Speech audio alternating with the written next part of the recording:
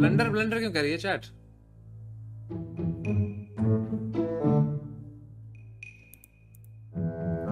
Chat को कभी समझता नहीं भाई ब्लंडर क्या होता है?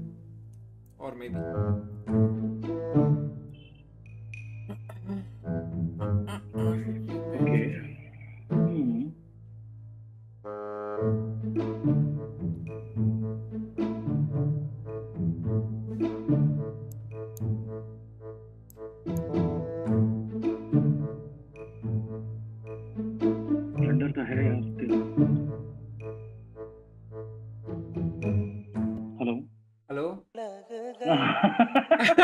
अभी मैं अभी वापस वीडियो पे आया देखने के लिए शक्ल में क्या हो रहा है तेरे